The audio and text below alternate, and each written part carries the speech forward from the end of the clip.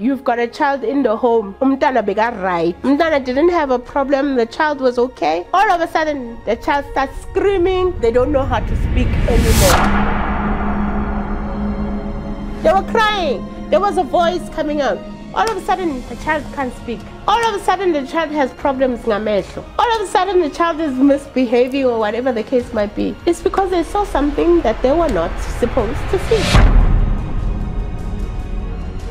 if you're a businessman that goes uyolanda umkovu and you bring it within your home and you have a wife and you have daughters let me tell you my brother